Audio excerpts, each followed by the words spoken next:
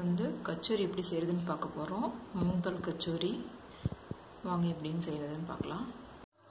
இப்போ கச்சோரிக்கு வந்து tau ready பண்ணலாம். இதில் வந்து ஒன்றரை கப் மைதா மாவு எடுத்திருக்கேன்.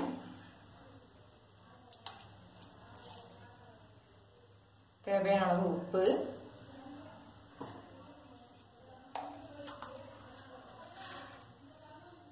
ஓமம் ஆஃப் ஸ்பூன்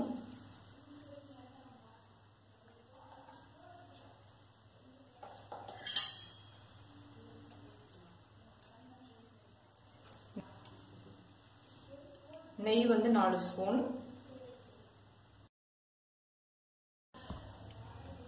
நல்லா பரட்டிக்கிறேன். நல்லா கலந்து விட்டுட்டு அழுத்தம் கொடுத்து பிணைங்க. அந்த நெய் வந்து மாவுல வந்து நல்லா கோட்டாகணும்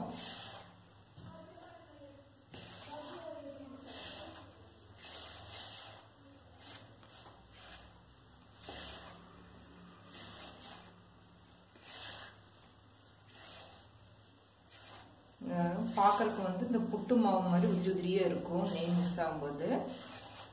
இதுதான் பதம்.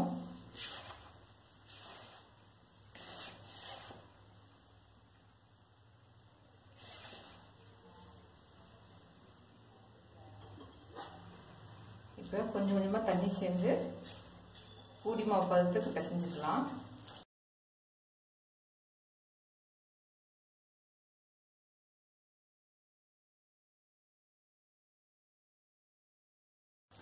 மாவு இந்த அளவுக்கு இருக்கணும். கெட்டி பதமாக இருக்கணும்.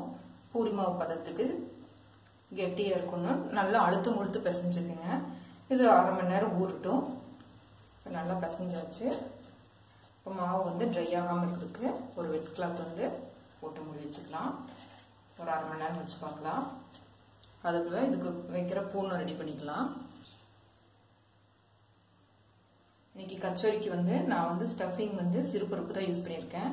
இது ஒரு வந்து ஒரு கப் எடுத்து அரை மணி நேரம் ஊற வச்சு நல்லா தண்ணி வடித்து எடுத்திருக்கேன். நல்லா தண்ணி வடித்து எடுத்திருக்கேன். ட்ரை பண்ணி எடுத்திருக்கேன். இது வந்து மிக்சியில் வந்து ஒன்று ரெண்டு அடிச்சு எடுத்துக்கலாம். அடுப்பில் கடாய் வச்சுருக்கேன். கடாய் ஹீட்டானோடனே ரெண்டு ஸ்பூன் ஆயில்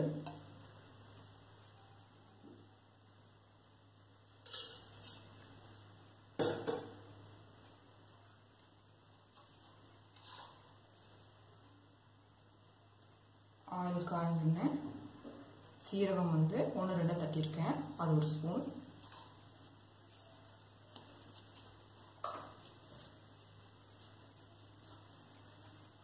வரமல்லி ஒரு ஸ்பூன் அதுவும் ஒன்று ரெண்டு தட்டியிருக்கு.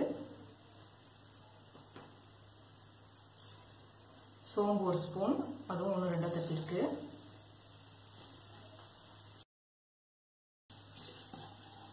எண்ணெயில் கொஞ்சம் பொரியட்டும். தட்டி சேர்த்தும் போது இந்த ஃப்ளேவர் வந்து நல்லா இருக்கும். முழுசாக சேர்த்தும் போது நம்மளுக்கு வந்து பல்ல கடிப்படும் போது பல்ல வந்து தட்டுப்படும் நல்லா இருக்காது. ஆனால் இடித்து சேர்த்திக்கிங்க நல்லா இருக்கும் வரோமா கடல் மாவு மூணு ஸ்பூன்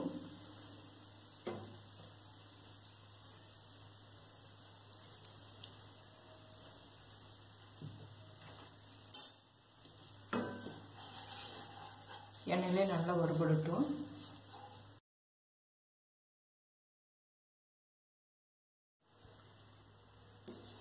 கர்ணமாக வந்து ராஸ்மின் வச்சு நல்லா வறுபட்டுருக்கு.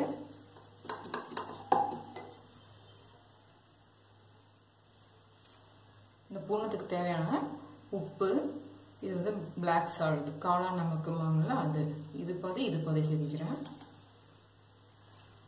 இது ஆப்ஷனல் தான் இருந்தால் நல்லாயிருக்கும் டேஸ்ட்டு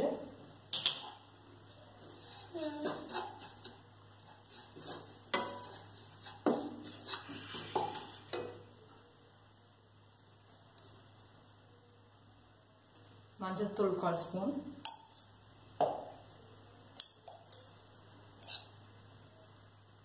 முக்கால் ஸ்பூன் மிளகாய்த்தூள்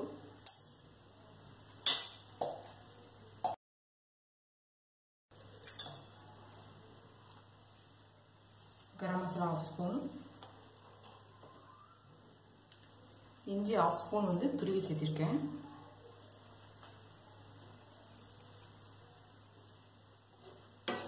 நல்லா கலந்து விட்டுக்குங்க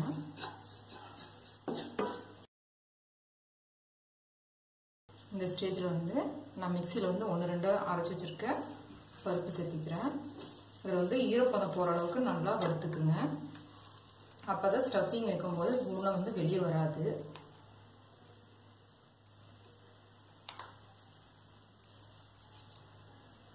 நல்லா ட்ரையாக வறுத்துக்கணும். குருள் மிளகு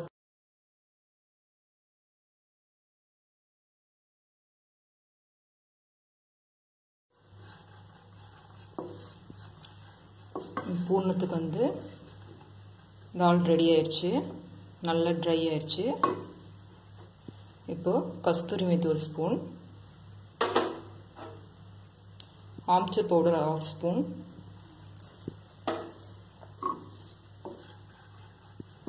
நல்லா கலந்து விட்டுக்குங்க.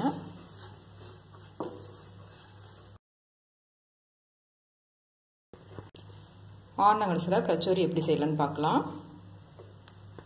மாவு வந்து மாவு வந்து நல்லா உரிச்சு இப்போ ஸ்டஃபிங் பண்ணிக்கலாம்.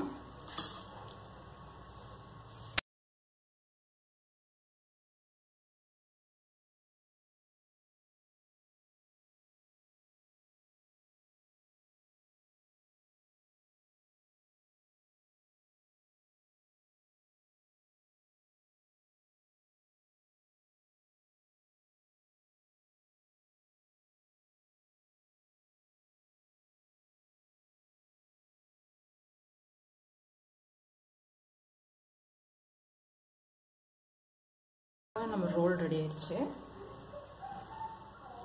ரோல் பண்ணி லைட்டாக அழுத்தம் கொடுங்க போதும். இந்த அளவுக்கு ஃப்ளாட்டாக இருந்தால் போதும்.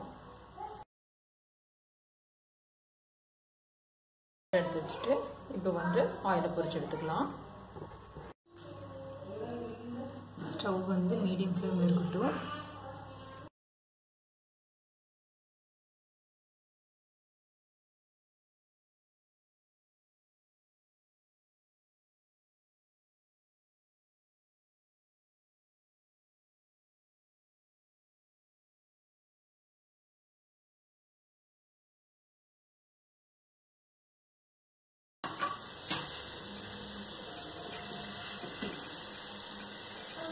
நம்மளுடைய கச்சோரி சூப்பராக ரெடி ஆயிடுச்சு. நல்லா பஃபியாக வந்திருக்கு.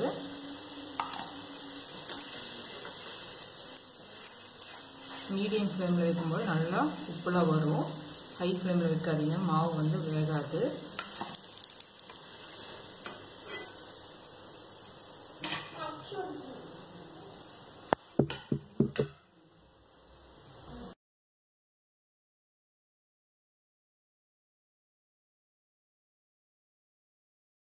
நம்மளுடைய கச்சோரி ரெடி ஆயிடுச்சு.